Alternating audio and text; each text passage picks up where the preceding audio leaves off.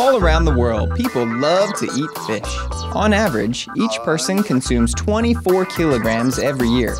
In fact, the commercial fishing industry pulls in a whopping annual 4 billion US dollars. However, with our global population rapidly approaching 7 billion people, the demand for fish is surpassing the available stock in our oceans. There just aren't enough fish left. Why did this happen? Most researchers believe that this is due to changing environmental conditions and the overfishing of the oceans. Some countries say that whales are eating all the fish. Hmm, well, after all, they are pretty big animals, a lot bigger than humans. So, wait a minute, most of the targeted whales don't even typically eat fish. They eat krill, don't they? Not according to Japanese whaling advocates, who, by the way, claim it is necessary to kill whales in order to study them. These scientific whalers claim they found fish in whale stomachs. Therefore, they must be eating all the fish. Most scientists believe this evidence is highly inconclusive, and a much larger ecological study should be conducted without killing whales, so that we can find out what is really happening to the fish and what actions we must take. Scientists believe that whales are an important part of the ocean ecology, and even if they do have an impact on fish stocks, aren't their populations very low? Studies would say yes, that whale populations are much lower than they were before commercial whaling. However, if you listen to the scientific whalers, you'd believe that whales are reproducing rapidly and their populations are growing at alarming rates. Researchers say that is unlikely when the gestation period for pregnant whales is 10 to 13 months, depending on the species, and some only give birth every two or three years. Despite scientific evidence which shows that whales cannot be eating all the fish, advocates for whaling believe we should kill large numbers of whales to protect the fisheries.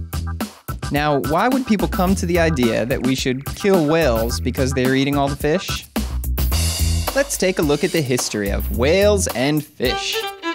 A long time ago in the oceans existed whales and fish. There were huge populations of whales and massive amounts of fish. The whales and fish existed peacefully in the oceans. This was until some humans came along.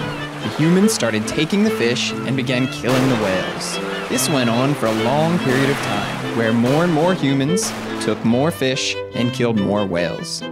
The humans made a lot of money, so they kept doing this until most of the whales were gone.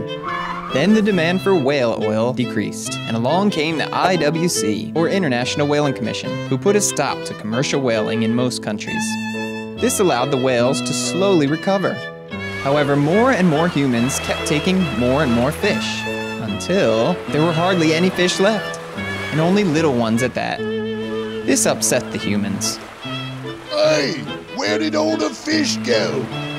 The whalers saw an opportunity. The whales are eating all of them. But what can we do about that?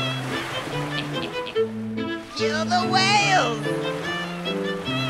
Kill the whales! Kill the whales! So they started killing the whales to protect the fish. It is understandable that people are desperate to find immediate solutions to the fisheries problem. However, taking action in the wrong way, like killing whales, can further damage the ecosystem and cause even more harm to the fisheries. This also damages ecotourism industries in places like the Caribbean. Killing of whales is not the answer to the problem, and is not the right way to study these animals. Most scientists believe that non lethal ecological studies should be conducted to find solutions to the fisheries problem.